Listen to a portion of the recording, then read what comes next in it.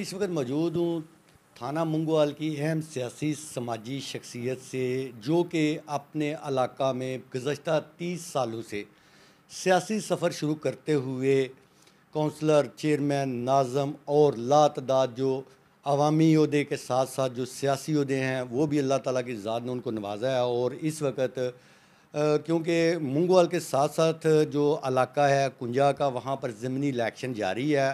اور ان کا تعلق بھی مسلم لیگ کاف سے ہے۔ اور چودھری موسیٰ کی کمپین کے حوالے سے یا اس سے پہلے چودھری سالک سین اور چودھری شافظ سین کی جو سیٹیں تھیں، ان پر جو کامیابیاں ملیں ان میں بھی انہوں نے نمایاں کام کیا اور ان کے جو اقدامات ہیں علاقہ میں ووٹر کا جو رابطہ ہے، کیونکہ اس میں سب سے اہم بات یہ ہے کہ سب سے پہلے کہ یہ ایک ہی حلقہ تھا اس سے قبل۔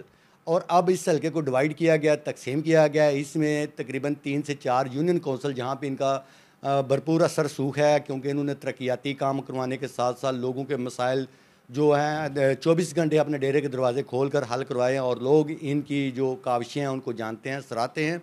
اور میں آپ کو مزید بتاتا چلوں کہ اس سلسلہ میں میرے ساتھ موجود ہیں مسلم لیگ کاف کے رانما چودھری محمد اعظم سابق چیئرمین سابق ناظم فرام جامو بولا اور ان سے جانتے ہیں، ہمارا ضمنی الیکشن آ رہا ہے، اس میں چودھری موسیٰ لائی کی کامیابی کے حوالے سے ان کے کیا اقدامات ہیں؟ جی چودھری شافت صاحب سے تعلق ہیں۔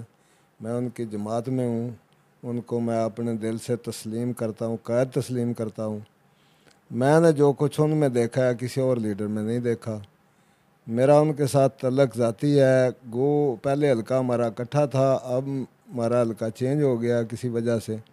اس کے باوجود چور سالک اور شافع صاحب نے مجھے سات کروڑ روپیہ دیا چار کروڑ روپیہ ہم نے لگا دیا ہے سڑک جموں بوڑا سے کانگ ساری کانگ سالی۔ بقایا گلیاں نالیوں کا کام جاری ہے۔ چوری سالک صاحب کی ہدایت کے مطابق چوری موسا لائی کے الیکشن میں بھرپور مدد کر رہے ہیں۔ بھرپور ڈور ٹو ڈور اپنے رشتہ دار باؤ اجداد یا اپنے اس حلقے میں، کنجا میں چیراں واڑی میں، جدھر جدھر ہمارا تعلق ہے، سادہ چک ہے۔ ہم بھرپور کوشش کر رہے ہیں اور دعا گوا ہے اللہ تعالیٰ چوری وجاد صاحب کے بیٹے موسیٰ لائی کو کامیابی دے۔ ان کی کامیابی ہماری کامیابی ہے۔ ہم دعا گو ہیں اللہ تعالیٰ اکیس اپریل کو ان کو فتح نصرت دے۔ اور ہمیں جو بھی انہوں نے حکم دیا ہم سر تسلیم کریں گے۔ جی بالکل جس طرح آپ نے سنا کہ چودھری محمد اعظم وڈائز صاحب کی طرف سے یہ کہا جا رہا ہے الیکشن ہے اس میں ہر طرح کی جو قربانی ہے اس سے بھی دریگ نہیں کریں گے اور ہر لمحہ ہر خبر شان سے۔